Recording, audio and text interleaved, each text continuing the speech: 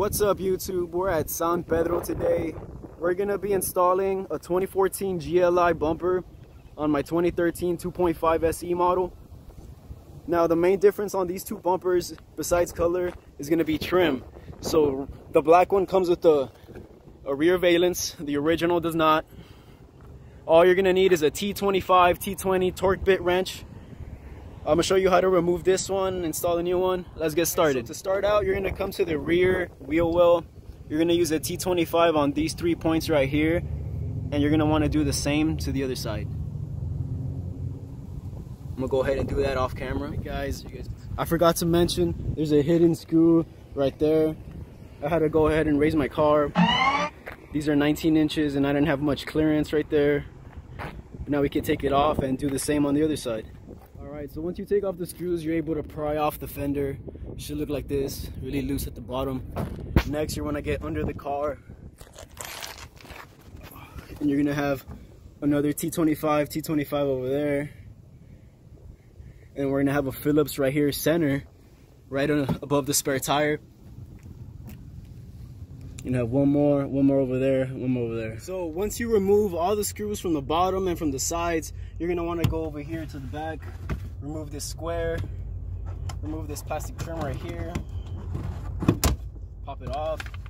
There's gonna be a plastic screw holding this whole headlight together. You're gonna wanna take that off, unscrew that, and your headlight should pop off. Don't forget to unplug it, all right? At this point, it should look a little like this. Don't forget to unplug the headlight. Now, the only thing holding it is these hinges right here you're just gonna want to pull them up do the same on the other side lift pull towards you and it should come off. So now with the bumper removed it should look like this. I've never seen a Jetta without a bumper. It's a rare sight. Let me close the trunk so you guys can see what it looks like.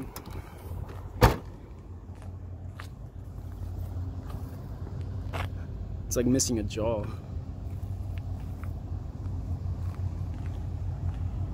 Alright guys, so this is how it turned out. Looks pretty nice. But if I'm being honest, some of the screws didn't line up.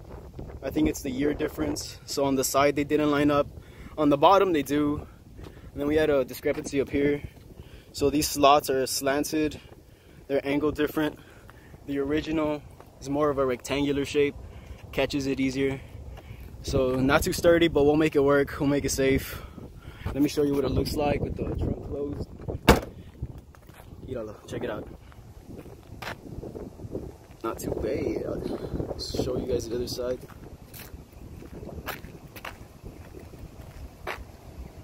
Alright, well there you have it guys. How you do a unsuccessful, successful bumper swap. Yeah, see you next time.